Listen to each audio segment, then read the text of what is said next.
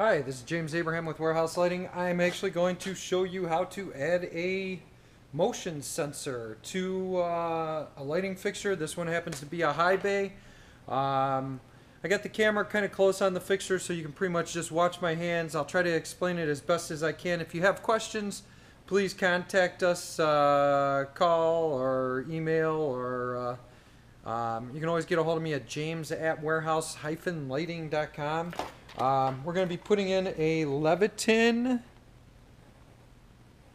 high bay fixture, and that would be part number OSFHU-ITW. It's a high bay, high bay passive infrared occupancy sensor. This one goes on most of our fixtures. We do have uh, Watt Stopper 2, um, but uh, just to give you an idea, if you uh, weren't able to order the fixture with your occupancy sensor, we do have them available that you could just add them to it.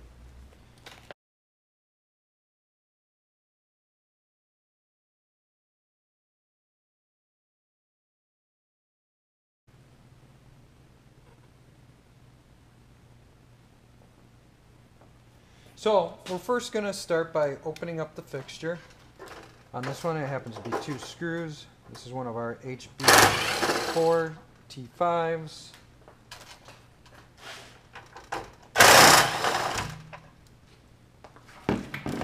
Pretty easy opening.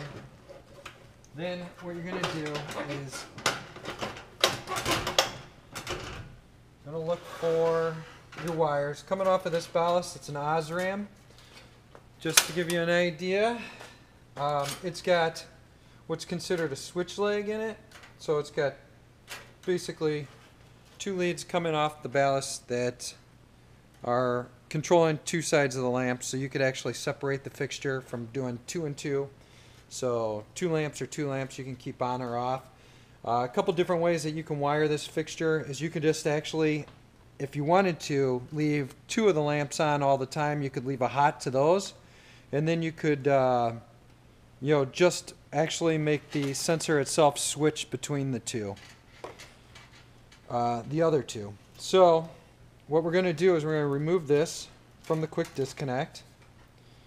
And now we've got the two power leads that come off the ballast there. We're going to pop an opening at this side of the fixture. I'm just using my uh, screwdriver, whatever you need to use from there. Um, we've already pulled off the nut on the fixture, or on the uh, sensor itself. You know, and a lot of times I'll just cut the extra wire off of this because we don't really need all of it. It just seems to get in the way. So I'll cut it about a foot and a half off or two feet.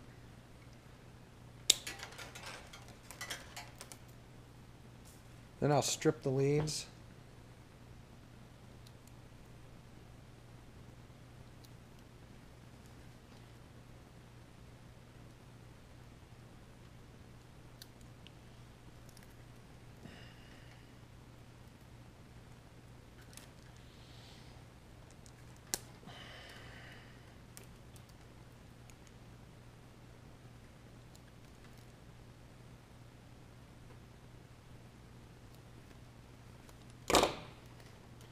Pulling the rest of the way off.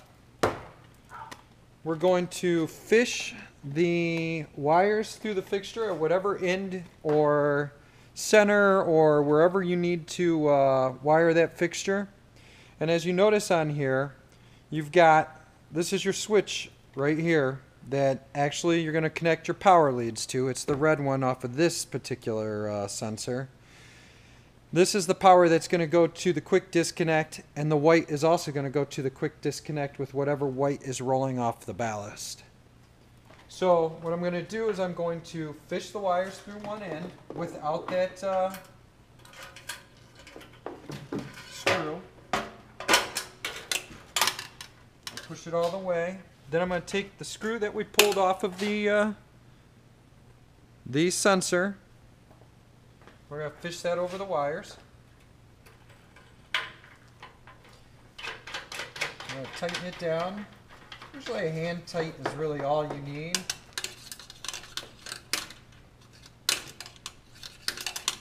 If you wish to tighten it more, you can also get an arm that extends it out from the fixture a little bit so that you don't have to worry about the fixture inhibiting the sensor at all.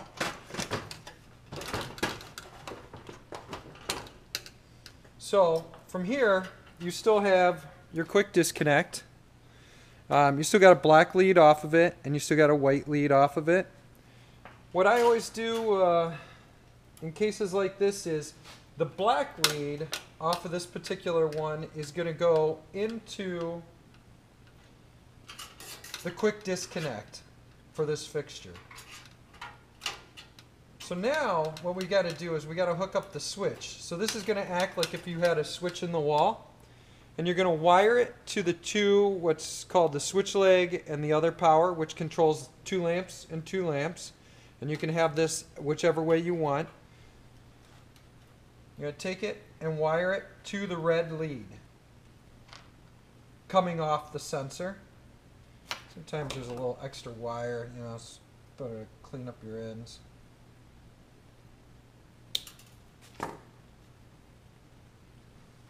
So you got the red going to the power coming off the ballast.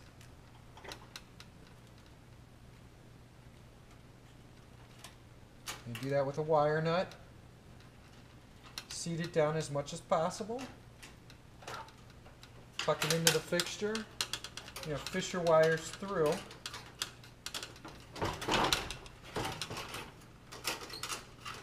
So now you've got your neutral. You've got your positive and your negative coming off of the ballast. And now you're all set up to, uh, oh, I'm sorry, one more thing.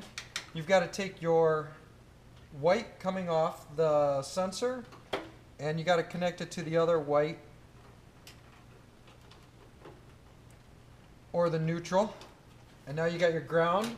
You got your white coming off the ballast, which is your neutral coming off the ballast. You've got your neutral coming off the uh, sensor itself. And you've got the black rolling off the sensor. And you've got the red hooked up to the switch leg on this one and the, the power coming off the ballast. So now you're all hooked up, uh, ready to wire up the fixture. I'm going to close uh, this one up. We're going to tighten it down.